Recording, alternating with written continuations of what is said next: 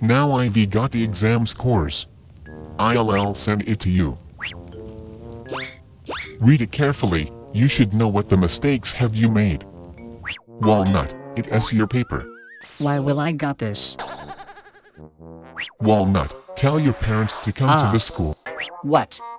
Call my parents again? Wall-nut did bad in the test and he can do nothing well. How a stupid guy. If he goes on like this, he will be an useless person. Useless person? So teacher, as his parents what should we do? You should pay more attention on him and help him grow in good conditions. Okay, I know what should I do. Get home.